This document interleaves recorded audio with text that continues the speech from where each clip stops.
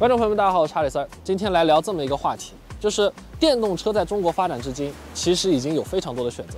但是电动大轿车似乎想不到什么第一选择啊。热度最高的蔚来 ET7 有点贵，奔驰的 EQE 有点丑，那智己 L7 过分专注于驾驶，有点被带跑偏了。而这个市场里面销量最好的车，比亚迪汉 EV，它根本就不是一台原生电动车。是吧？所以这个时候你想买一台实惠一点的、智能一点的、舒服一点的电动大轿车，你最后的第一选择是极氪零零一，压根就不是一台轿车，对吧？那么今天终于有了一个新的选择。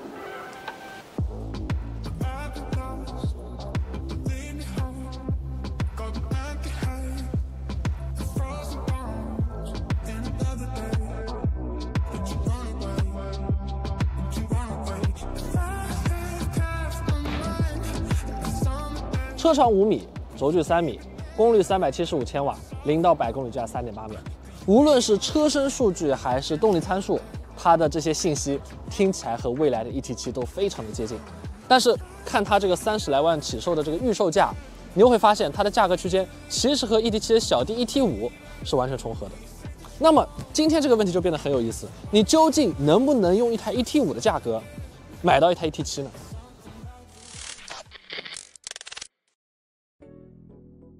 在正式聊车之前，再来探讨一个问题：你买一台电动大轿车究竟是图啥？有人可能会觉得啊，车子大看起来气派，车子大开起来比较稳。但其实我觉得最重要的一个原因，还是为了后排坐的舒服嘛，对吧？有更大的空间。但说实话，对于电动轿车来说，后排要坐的舒服，其实并不是件很容易的事情，因为大电池会侵占这个底板的高度，而为了低风阻而做的这个溜背也会切掉你的头部空间。即便是蔚来 ET7，我这个身高坐在后排，头还是有点顶，靠背还是有点直。但是这些问题在这辆车上都没有发生。可以看到我现在做这个姿势啊，我的腿部空间还是非常不错的，而且头部空间在有这个遮阳帘的状态下，我觉得表现也依旧是不错的。同时，它的这个座椅的坐姿相当的正确，我可以坐在上面有一个非常放松的一个状态，而且座椅的贴合度、舒适性。表现也都是 OK 的。同时，咱们这台车呢是高配车型，也就意味着后排有相当多的功能，你可以通过这块屏幕来进行操作。比如说像加热、通风、按摩、四驱空调啊，遮阳帘的关闭，还有一个这个一键舒躺的这个模式，我觉得这个状态真的非常的棒。副驾移到一个很前面的位置，然后座椅还能放后躺，这个腿托还可以升起来，实现一个真正意义上老板坐的一个状态。而且在主驾，我刚才也试过了，这个头枕的位置。并不会遮挡主驾的视线，在这样的一个状态下呢，还是有三个缺点要稍微提一下。第一，这个中央扶手这里做的磁吸很好，但是上面没有做阻尼，你总觉得它稍微有一些过于的生硬了这个动作。还有呢，就是这个杯架，无论是它的这个做工还是它展开的这个状态，都会觉得有一些廉价。而第三，对于我这个身高来说，这个坐垫的长度稍微有一些不够了，最后导致的结果就是这个腿托并不能很好的承托到我的小腿。但是除了这些缺点之外，这个后排的体验真的是相当相当的出色。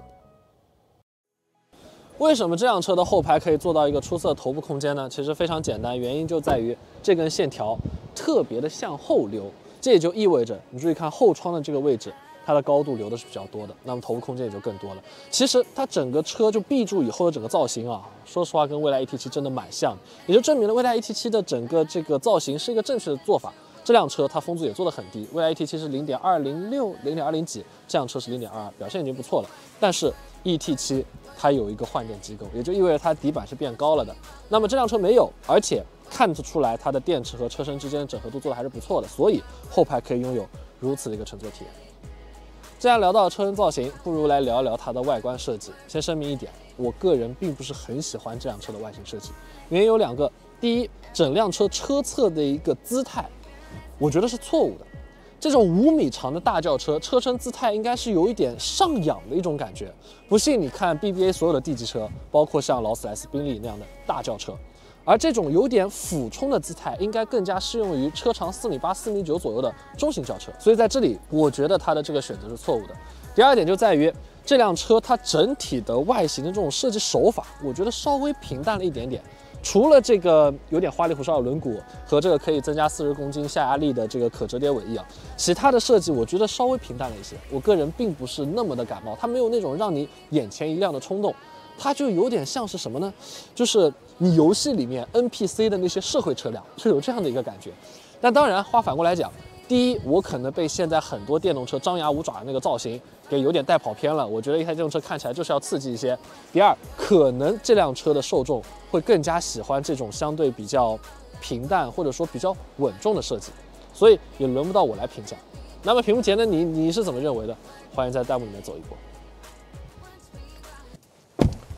回到车内啊，前排的表现就没有后排那么出色了。咱们寓意先扬啊，先来说一下它的优点。首先，它车上所有的用料质感还是非常不错的，包括这个音响面板的设计，还有这种氛围灯的处理，还有像这种小的细节点缀，我觉得表现都还是不错的。第二，它的手机无线充电板可以达到五十瓦的一个速度，我觉得这个的功率还是蛮吓人的，而且下面这个通风真的非常的有用。我的手机在这放了一天，充电完全没有任何的发烫，这个表现是要点个赞的。第三，这个驾驶姿态真的非常的出色，并没有像 ET7 那样感觉你的车头太高太长，也没有像 ET5 那样让你感到非常的别扭啊。除了方向盘距离我的位置还是稍微远了一点，以及这个后窗的视野稍微小了一点之外，整个车的驾驶姿态是非常出色的。说完了优点，接下来来聊一聊让我觉得非常恼火的几个缺点。第一，三连屏，这是蓝图非常标志性的一个设计，但是这个边框真的太粗了。好吧，那句话叫什么？边框能停航母，是吧？这就是一个非常典型的一个例子。第二，这辆车上没有任何的实体按键，没有到什么程度？这个双跳灯，包括边上的这个模式选择和自动泊车，都是虚拟按键，而且没有任何的力反馈，没有任何的假行程。所以说，你完全盲操，基本是不可能一次安全的。而且更离谱到什么程度？方向盘上的多功能键是虚拟按键就算了，连车窗升降键都是虚拟按键，而且你还要用力按才能把它给按下来。就是你长按是降，然后你摁一下它是就这样降到底。我开了一天了，我到现在还没有上手。然后最离谱的是什么呢？就是没有实体按键到什么程度？它也没有后备箱开启键，所以你要到后面到这里来点进车辆，点进后备箱，点击开启，才能把后备箱打开。我今天已经经历了无数次，我在主驾下车去打开后备箱，发现打不开，然后回来把这个按钮按开，然后再到后面去把东西拿出来的经历。而第三点就是它的手势控制，就是我是一个有点多动症的人啊，所以我的手势会非常的多。看我节目的人大家就应该知道，所以当我经常就比到一些手势的时候，它就会莫名其妙的失灵，而且我还不知道这个功能哪里关。这我觉得也并不是一件让你的生活感到更具科技感的一件事情，只是增加了一些麻烦而已。而为什么我不会去操作它如何关闭呢？那是因为呃，蓝图人跟我们说这辆车的智能化还没有最终的定格，这也就意味着它整套车机系统，包括整个驾驶辅助，其实现在都还处于一个测试的阶段。所以今天我们并不是重点去体验这方面的一些内容。但是关于它的智能化呢，其实有一个事情很有意思。就是它的电子电器架构其实有着相当的一个先进程度，按照他们的话来讲，甚至比特斯拉 Model 3上面还要更加的先进，因为它是一个集中控制域的一个状态。具体怎么实现的我也不是很清楚，但反正它是一个很先进的状态。这就意味着未来这辆车将会有更多 OTA 的可能。那太好了，你 OTA 能力强是吧？你又帮我 OTA 一个实体按键出来，谢谢你。聊到这里，你可能会觉得我并不是很喜欢这辆车啊，这个人机交互有点蠢，然后外形设计也没长在我的点上。但其实，当把这辆车开起来之后，它会有另一份魅力。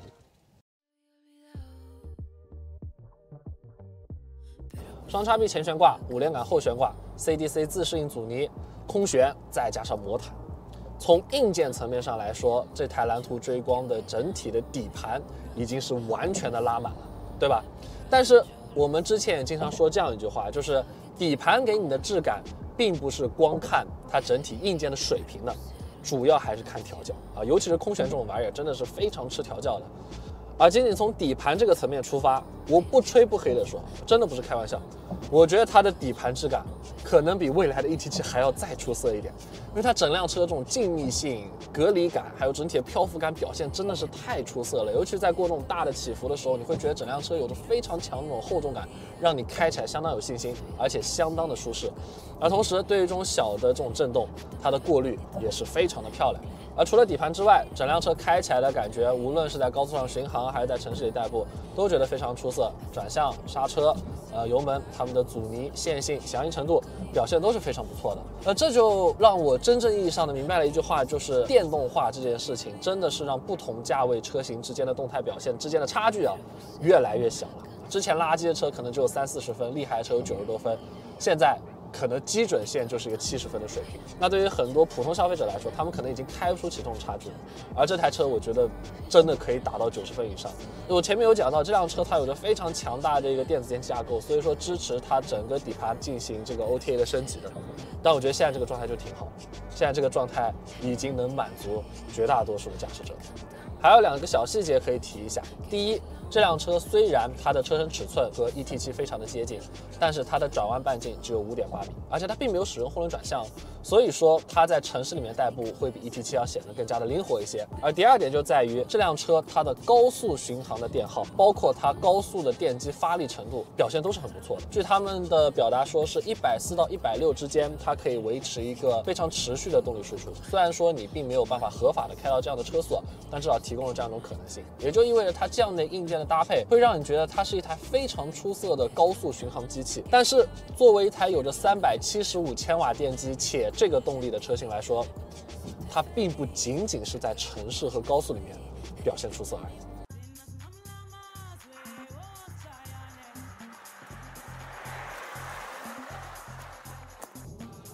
既然来到舟山了，就不得不来跑跑山了。我现在跑的这条山路，我觉得对于很多跑山的爱好者来说，绝对都是天堂般存在，因为这是一条单行线啊，你不需要太多的去注意对向的来车，除非有人瞎闯啊，这所以说开起来是非常的放松的。而这辆车也是一样的状态啊，在把它开到了这个运动模式之后呢，整辆车的这个车身高度会下降，然后转向阻力会增加。然后加速的响应会变得更加的暴躁。虽然说它是一台跟 ET7 差不多尺寸的车，但是我不得不说，在这样一条山路上，这辆车开起来的感觉，你不会有任何觉得很笨重的一个地方。整辆车开起来是非常随心所欲的一个状态。而且大家也看得到，现在这条山路其实它的这个路况并不是很好，但是这辆车它刚才的那种非常舒适的这种漂浮感、隔离感，其实在跑山的时候也依旧是有一点点的显现出来。也就意味着，在这样一条山路上，你并不会开得很难受。其实你开起来的感觉依旧是非常的这个泰然自若，且甚至有一点点舒适的一个状态。当然，我的副驾可能并不这么认为啊。那当然，它整体的这个特性也没有完全的被舒适性给带走，整辆车这种支撑感在增加了之后，它整体的转向、整体的这种车辆的这种操控的欲望会变得愈发的强烈，整辆车开起来会变得更加有趣，甚至车尾还会有一点点的滑动，整个车的一个状态是一个非常听话且会让你觉得愿意去激烈驾驶的一个状态。但当然，这个电池可能就并不是那么同意了，因为过不了多久它可能就要没电了。然后还有一点值得提一下，就是其实在舒适模式下呢，这辆车的转向手感稍微有一点点奇怪，就是它的中心区其实非常的明确，但是中心区附近的阻尼呢会有非常明显的一个突变，所以说你在中间打方向的时候，总觉得中间咯楞咯楞那个感觉。但是在变成了运动模式之后呢，它整个转转向的区间内，所有的这个转向的阻尼都变得更重了，所以说它整个转向的手感反而变得更加的自然。在这样的山上开过这样一台车之后，我真的是非常的好奇，就是有了威廉姆斯调教，还有主动后轮转向的智己 L7，在这样的山路上会是怎样的一个体验？我觉得如果它要比这辆车的动态表现更加出色的话，那我真的会非常被惊艳到。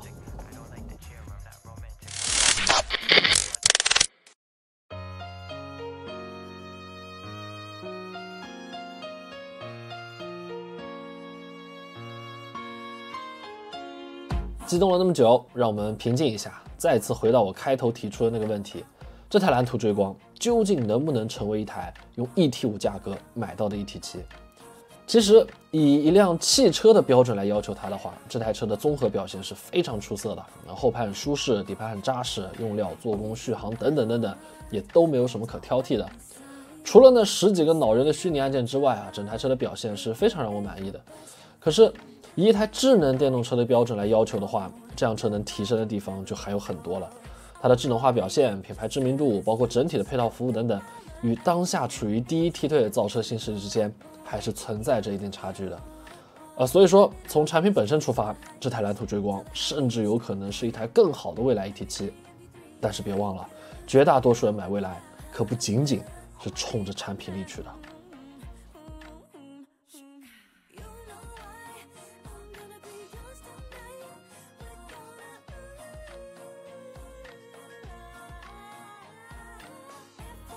把帽子拿了。